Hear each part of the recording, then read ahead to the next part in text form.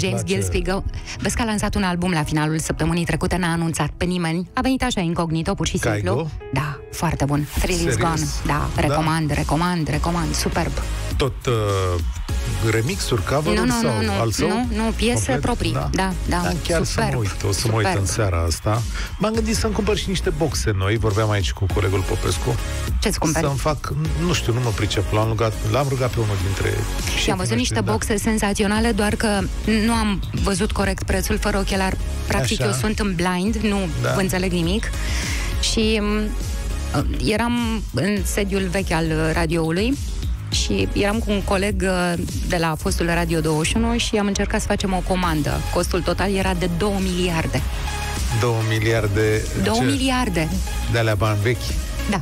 Da, adică era vreo 30, 60 de mii de Aha, euro. Da. Dar ce boxe sunt mai că să vă luați? O să-ți spun că dacă fac reclamă acum, mă trimis la casierie. da, da. 60 de mii de euro Mhm. pe boxe ce Super, tare. da. Na, na, nici pe departe, adică Da. nici vorbă, stați liniștiți. Bă, uite, voiam să te întreb, hai să facem rațiunea zilei așa, dar o să las aici o Un gând. întrebare, un gând pentru ascultătorii noștri. Ce ați spune pământeanului cu 8 miliarde, cu numărul 8 miliarde? Știu că nu e bă, ok să spui noroc, Ah. dar i-aș ura noroc. Da, s-ar Viață putea faină. Să, s-ar putea să aibă nevoie. Adică Da. eu am zis să se bucure de frumos, că lumea asta are o grămadă de frumos, dar are și o grămadă de, De crize urât, și da. cu numărul 8 miliarde, cred că e un moment potrivit să înșirăm niște lucruri care ne așteaptă ca specie în față, dar și pe noi, cei care locuim aici, în zona asta. Ok. Rațiunea zilei cu Cătălin Striblea la Europa FM. Știți că astăzi s-a anunțat Pământeanul cu 8 miliarde. Asta e o presupunere. Vor fi diverse jocuri sau ceremonii. Un copil undeva va fi identificat Numărul, da. cu probabilitate. Există făcut lucrul ăsta și la 5 miliarde, și la 6 miliarde, și la 7 miliarde, dar e un joc statistic. În realitate nu știm câți suntem. Bănuim că suntem pe aici, pe undeva. Sunt echipe de matematicieni, sociologi, statisticieni care pă, calculează lucrurile astea și se face, e un calcul foarte complicat, se face pe baza unei rate de creștere a populației care este, poate fi mai ușor urmărită. Pentru că asta o avem pe baza recensămintelor din diverse state. Bun. Noi acum am ajuns de la, din 1950, de la 2,5 miliarde estimat, la 8 miliarde destul de repede. Adică... Chiar în suntem mulți. Da, suntem foarte mulți și lucrul ăsta s-a întâmplat și mai repede în ultimii 11 ani, când am trecut de la 7 miliarde la 8 miliarde. Asta e și o veste bună, înseamnă că omenirea a reușit să descopere acele lucruri care prelungesc durata vieții, adică în primul rând vaccinurile care îi ajutau pe copii să treacă de perioadele critice de la până când își formau anticorpii și apoi am prelungit viața multor oameni prin diverse tehnologii ale sănătății care, iată, funcționează. Da. Dar uh, ce ne așteaptă? Că sunt niște crize complexe în fața noastră. 8 miliarde înseamnă că oamenii nu sunt distribuiți pe planetă în mod egal, înseamnă că sunt crize de suprapopulare în foarte multe țări, da. Asia de Sud-Est, Asia, Africa. Da. Cea mai mare creștere a populației este în Africa Centrală, să știți.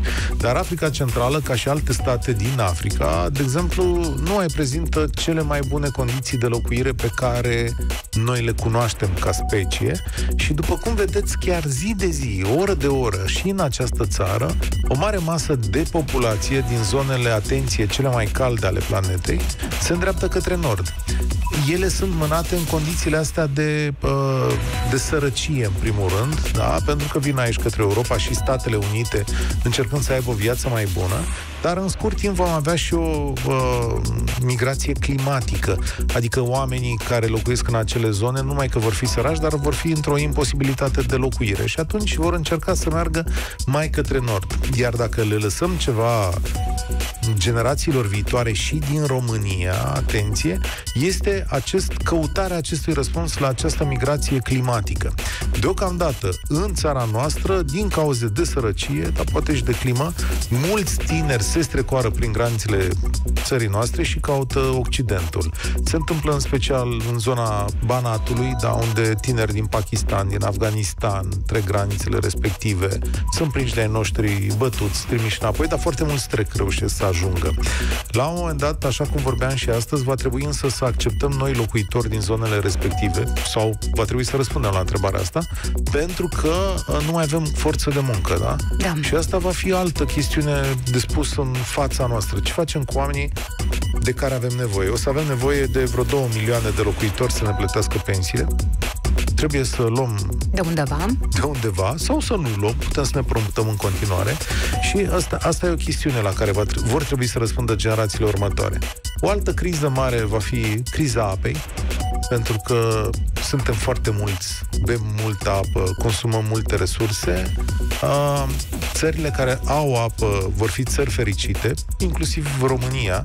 Mai multe țări vor avea probleme legate de apă și noi deja le vedem în sudul țării, unde Da. n-a plouat anul ăsta cât.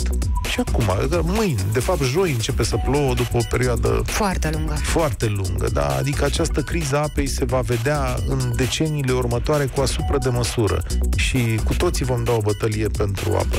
Și ăsta e alt răspuns pe care omenirea cu 8 miliarde va trebui să-l dea.